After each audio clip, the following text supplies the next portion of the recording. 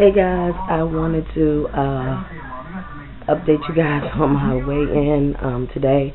It is day four, middle of day four. It's about 1.30, July 22nd, 2011. And I wanted to weigh in. I couldn't hold out till uh, seven days, so I'm weighing after four. So I'll be back and I will show you the results of my weigh-in. See you in a little bit.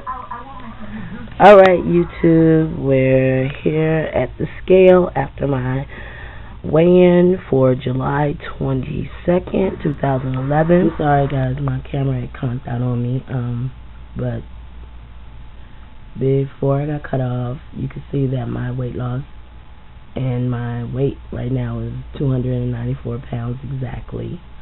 Uh, my body fat percentage is 55.6 and my body mass index is 43.4. So I have had a weight loss of 9 pounds.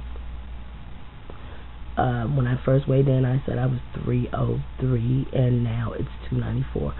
So nine pounds in four days, not bad. It's actually really good. I know it's primarily water weight, but it is good to see the numbers and it motivates me to keep going and keep trying and to live a healthier lifestyle and to know that after so many years I can actually lose the weight after being overweight for so long. So I will be back later with another video from my husband um, just to talk to you guys. So, see you later.